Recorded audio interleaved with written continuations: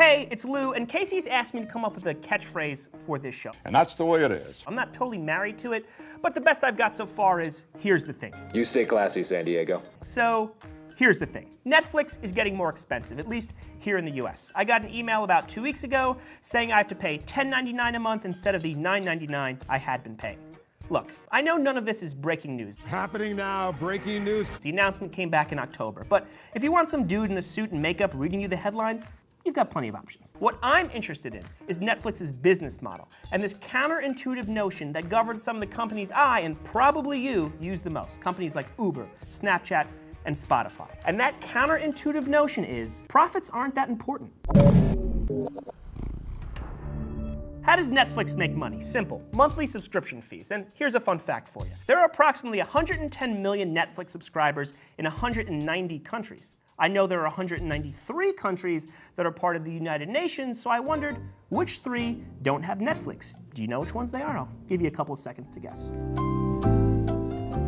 The answers North Korea, China, and Syria. Oh, and also Crimea, which is part of Ukraine, which the Russians invaded, which is a whole long story. I digress. Netflix has 110 million paying customers every month, and from those customers, Netflix generates billions in revenue. They expect to generate over 11 billion in revenue in 2017, and yes, that includes the DVD service. I am still a member, perhaps the last member in my humble opinion. The streaming service doesn't have a stellar movie selection. Last year, a blog noted that of the top 250 movies on IMDb, Netflix only had 31 available on streaming. Not so good for movie buffs. So 11 billion in revenue in 2017.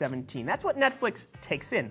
A ton of money. But Netflix spends like Casey Neistat in a camera store. I mean, look at the dude. He's holding a camera. Anyway, that means they spend a lot. For example, the first season of The Crown, which I guess old people like or something, cost approximately $130 million. That's reportedly the most expensive season in television history. And The Get Down, which I wanted to love because it's set in the Bronx and my life is set in the Bronx, that's where I live, cost $120 million. Some reports even said that it was as much as 200 million. Unfortunately, the show sucked. The Bronx, however, is awesome. Dave Chappelle, Netflix reportedly paid the comedian 60 million for three stand-up specials. And you thought CNN made crazy purchases. All in all, in 2017, Netflix spent about $6 billion on content. That's according to CEO Reed Hastings. For comparison, Amazon spent about 4.5 billion in 2017, and Hulu and HBO spent about 2.5 billion each. The number one big spender on content in 2017, anyone want to guess? It's ESPN, the worldwide leader in sports. Analysts estimate they spent 8 billion for programming in 2017. Almost a quarter of that is just for Monday Night Football. Not a great investment. I hate bad investments. But back to Netflix. So 11 billion in revenue. 6 billion of that goes to pay for content. Netflix said they spent about another billion on technology. That's keeping their platform current and user friendly. Then there's marketing, all those commercials and billboards. Then obviously they have operating costs, employees, rent, debt, etc. So at the end of the day, Netflix projects they'll make something like $800 million in 2017. Seems like a lot, but relatively low, about 7% of that 11 billion they bring in. But this is the thing about modern tech companies. They don't really care about making money, at least about making money right now. Uber loses billions of dollars every year. Spotify loses hundreds of millions. Snapchat has warned it may never make a profit. Tesla somehow has become the hottest automobile company without generating a dime in profits. Because these disruptive companies with so much potential take the long view. They don't care about making a billion today, they care about making a trillion in the future. And how do you do that? Grow. Keep adding customers. Keep getting people to download your app or use your service. Get people hooked. Become part of their everyday routine. Think about Amazon. They lost money for years, but in the process, they got consumers addicted to them. And they've also eliminated much of their competition. Now, they own a huge share of the e commerce market, and the money is rolling in.